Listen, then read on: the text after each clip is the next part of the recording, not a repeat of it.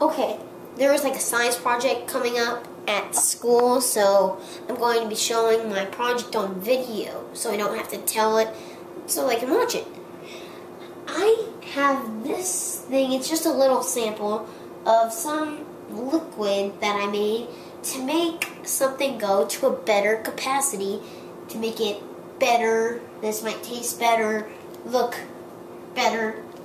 So, let's see.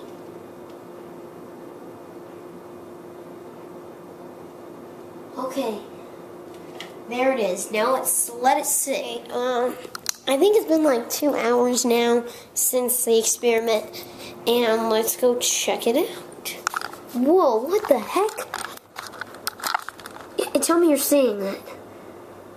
It, I like just discovered a whole new thing. I could be rich and famous. Um, what should I call it?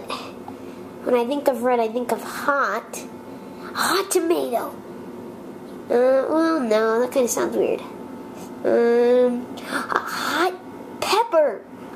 Oh, yeah, that's what I should name it. A hot pepper. Okay. Huh. I need to go talk to the president about. Okay, it's one day after the first experiment, and I'm going to try it again on a cutie now. So here's the rest of um, the liquid I made. It's made of oranges, citric acid, folic acid, riboflavin, and niacin, and other random stuff. So here we go. I'm going to pour it on it. There we go.